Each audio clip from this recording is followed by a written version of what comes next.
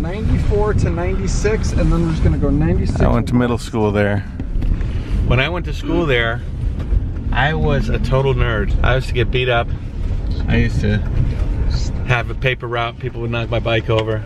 As a matter of fact, right down that street, I had a fight with a guy, Joel DiPiazza. He threw snowballs at me. He knocked me off my bike. My papers went everywhere. And I was so angry, I punched him. But he was a boxer. And I punched him in the back of the head. Like in the hardest part of the skull. Hey, you can't throw my papers! And I hit him. And I remember, it's ingrained in my head that he looked at me with these stony eyes and he says, did you just hit me in the back of the head?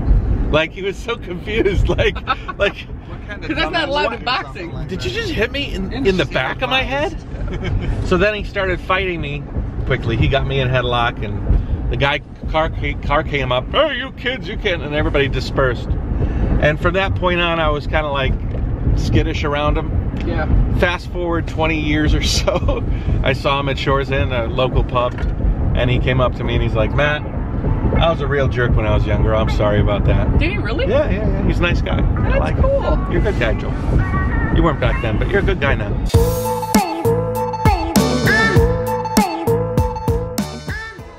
We going, Becco?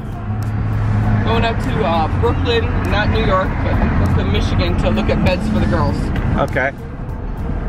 What did you get?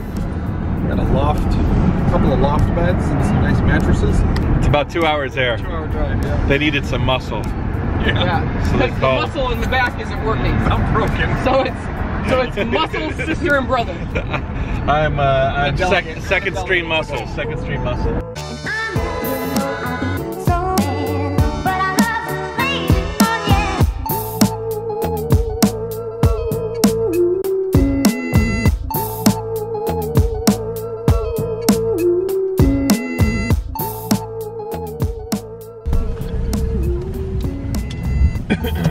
Just to see if you're ever Nice neighborhood. America. Oh, awesome. It's kind of like your small box spring, but Yeah. Yeah, just so it doesn't give it too much. And you know what? I Ah, super nice. They, they picked it up for 500 bucks. Good deal. Thanks, boss. yeah, I think so. the, the strap, but otherwise I think it's gonna be fine. I really don't think it's gonna, I think it's gonna be, I think it's tight enough. Slow and steady wins the race. Mm-hmm. Taking it easy. Bed launches out of there. Whoosh, five hundred dollars out the door. So much for you. into somebody else's door is my worry.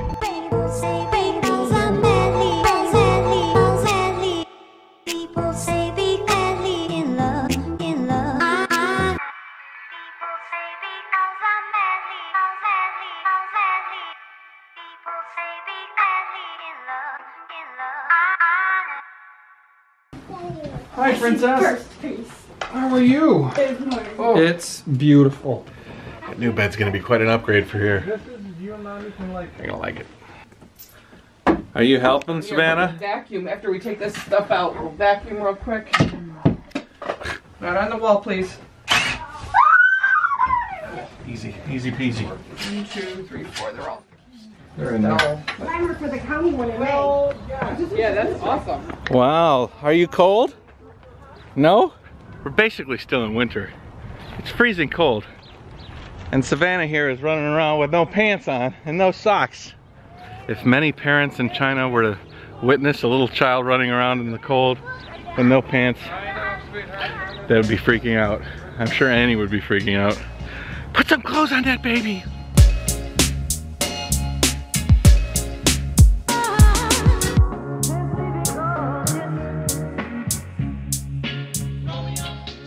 We have it all staged out, ready to go. Gonna eat some pizza, great American lunch, get back to work. Ooh, what was this? Cheesy bread. Well, I mean, I will, I will have to come get them by about nine thirty though. Okay. Yeah, we'll see, like I mm. said, if you don't feel like. Go check out Savannah. Oh, wow, King of the mountain over there. Queen of the mountain. Bed Mountain.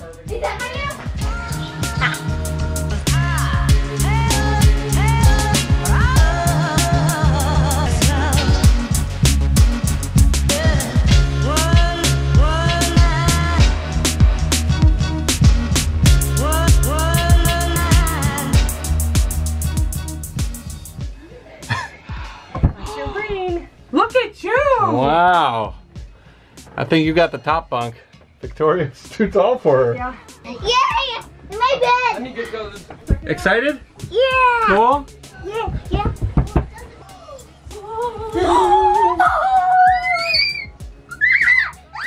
I'm gonna sit up here. Okay, you can sit right there. Feel the memory foam. Feel the memory foam. Do you like your beds?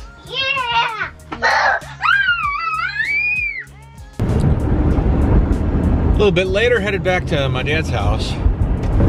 I'm having a battle with with food here. It's so easy to put on weight in America, and this weight sticks to your bones. Those, uh, you know, stir-fried vegetables and rice things that you eat in China, they they tend to fall off a little bit quicker. The weight that I have on me is just denser. Now tomorrow morning, I'm gonna spend Sunday with my dad at church. I'm not a very religious guy. You guys might not know that, my dad is very religious.